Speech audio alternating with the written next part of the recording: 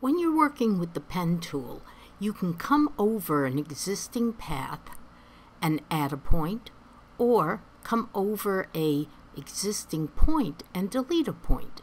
But there's one other tool hidden inside the pen tool. That's the convert direction point. With the pen tool active, hold the Option or Alt key, and you get this little caret symbol. That is the convert direction point. If I come over a point here and drag, I've now turned a corner point into a smooth point.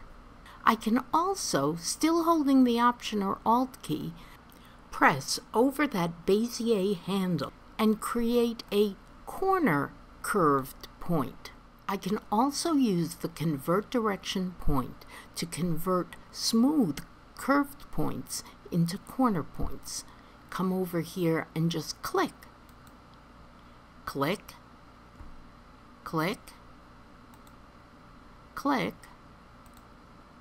and now I've got corner points where they once were curved.